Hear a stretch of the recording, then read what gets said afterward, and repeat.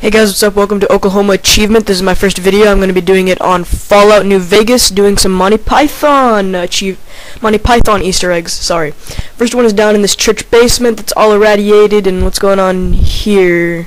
Oh crap. Yeah, I'll swipe.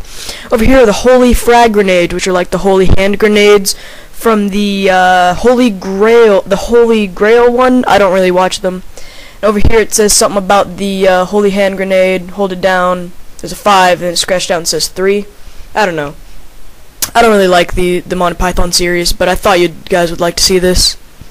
Yep, holy hand grenades. And let me just show you a, a little bit where we are. We're here about southeast of Camp Searchlight. It's all irradiated down here. It's pretty crappy.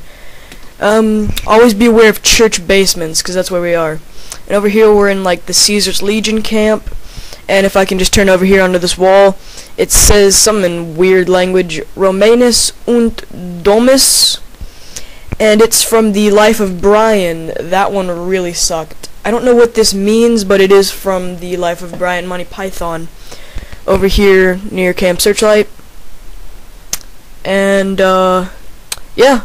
Hope you guys enjoyed this, and I'll be making more of these soon. Holla at your boy, Oklahoma Achievements.